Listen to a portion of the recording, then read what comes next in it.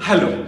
Our team at Chem Experts have been working tirelessly over the years to bring forward a product, a product that can change how the world works. And here it is, chemistry. So, we are really very very excited for the upcoming launch of the Department of Ionization, the Periodic Table Department, and the Department of Mechanism.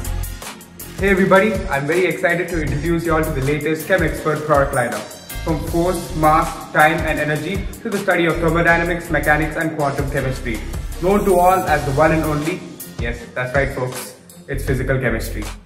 From the water in the ice tray in your freezer till the glass on a dining table, there isn't one place where you wouldn't find physical chemistry.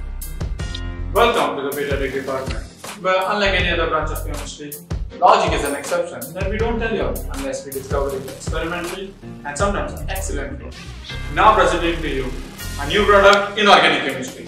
Inorganic chemistry has many applications in every aspect of the chemical industry, including catalysis, surfactants, fuel, medications, and agriculture, and indeed, it's limitless. Chemistry is never complete without the most iconic branch of all, the organic chemistry. Organic chemistry is a wide-ranging topic that overlaps with biochemistry, medicines and material science. Organic chemistry have all kinds of uses. Some of the products are shampoos, perfumes, nail polish removers, paints, wood and so many more I am dying to tell you. Whoa, whoa, hold on. So you're telling me that there is so much more to chemistry than what it meets the eye? From a lone atom to the whole universe, chemistry is used everywhere, every day and every single second of our life. Now, that's fantastic. The price, right?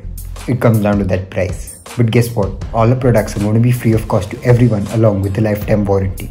And it's finally high time that we change the world. And I'm pretty sure that this product can certainly do that. But until next time, that's a goodbye.